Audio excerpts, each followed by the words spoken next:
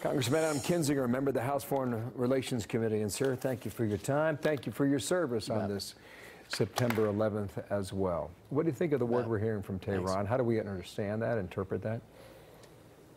It's no surprise. I mean, keep in mind when this whole deal was being worked out, Iran said that all they wanted to do was have a program for power, for nuclear power, nuclear energy.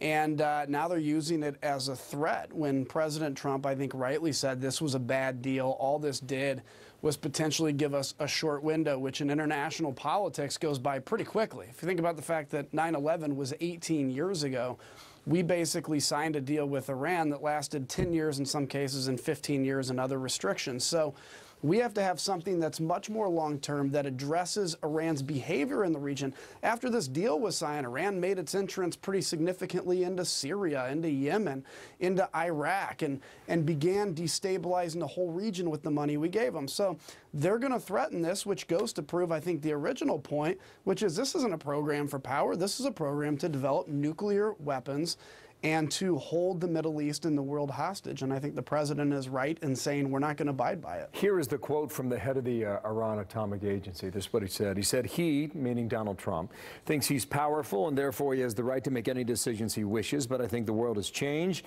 and I don't think that logic works anymore, end quote. Do you think this administration, with John Bolton and others, are they in a position to change Iran's behavior? Yeah, and it's it's you know I think Iran would be smart to say, hey, they have a lot of tools at their disposal. Let's re-enter negotiations. Europe's not helping us with coming up with economic rescue packages for Iran because they're desperate for the economic activity. But I think Iran would be very wrong to misjudge the seriousness that this president, that John Bolton, that Mike Pompeo have in saying we're going to address this issue. There are a lot of things we can do. There are further economic sanctions. There's ways to push back against them in their proxy wars, for instance, in Syria. Um, and lastly, there is a military option. And while we're not advocating for that today, the fact that a significant and robust military option against Iran's nuclear facilities exist uh, is something that should compel all these parties, including and especially Iran, to the table to negotiate a broader, more comprehensive yeah. deal. Let's let's see how that works. In the meantime, you've got this story that's brewing in Syria, and it's significant too. The U.S. has issued strong warnings toward the Assad regime, toward Russia as well. Do not take action in this province north of um, Damascus. There's concern with three million civilians. If you after tens of thousands of rebel fighters there, you might win the war ultimately, but at what cost? What do you think we do That's now? Right. Uh, look, Assad has destroyed his country just like his father did, but this one's even worse.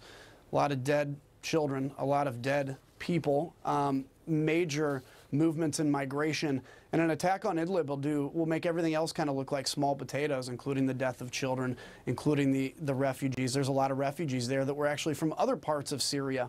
So I think, look, we're, we're kind of beyond the point where the U.S. can intervene in the middle of Syria, but what we can do, I think, is declare Idlib a no-fly zone. I, am not convinced that's going to happen. We definitely can do like the president has done, which is said chemical weapons have no place on the battlefield and haven't since World War I, not on the battlefield. And we enforce that red line that President Obama failed to and then drive all the parties to the negotiating table. The, when it's all said and done, Syria is probably not going to look like it did 10 years ago. But if we can have a place for people that want democracy, and obviously it appears Assad's going to survive, even though I hope he doesn't, and uh, we can remove foreign troops from Syria as long as Russia and Iran go too. And that's, I think, what the successful result will be. Something to watch clearly has not been resolved. Uh, there are those who are issuing strong warnings about chemical weapons being used again. Let's hope that's not the case. Adam Kinzinger, thank you for your time back home in Illinois. Thank you, sir. God bless.